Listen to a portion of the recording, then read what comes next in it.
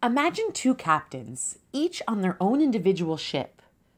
One captain has his destination in mind, while the other is going wherever the wind takes him. I think we can all agree that the one with a clear destination, a goal, arrives safely, while the other ends up shipwrecked off some island in the middle of nowhere. If you want to see to it that your goals manifest, part of the process is becoming super clear about what you want. As Earl Nightingale says, you become what you think about, and all the more so when you think in clear terms. If you take 100 men who start even at the age of 25, all of them believe that they will be successful. By the time they are 65, only one will be rich, four will be financially independent, five will still be working, and 54 will be broke. Out of 100, only five succeed.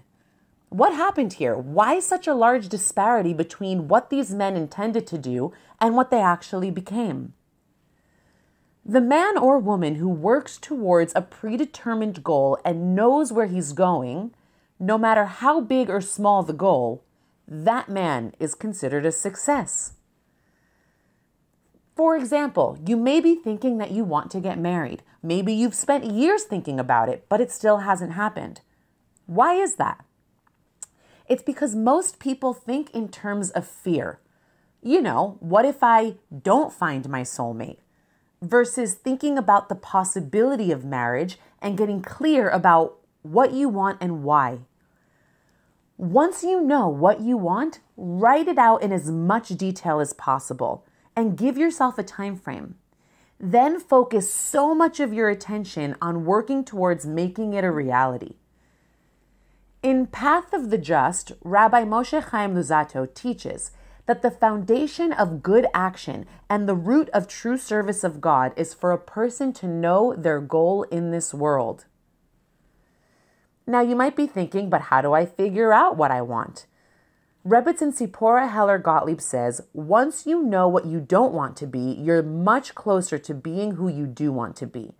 So if you think back to all the experiences that haven't worked out for you, Never see it as a waste of time. All of these life experiences should serve as arrows pointing you closer to clarity. It's all part of the process.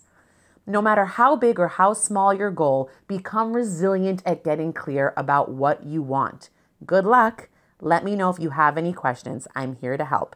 And of course, sharing is caring. So if you liked what you heard, please pay it forward. Happy manifesting.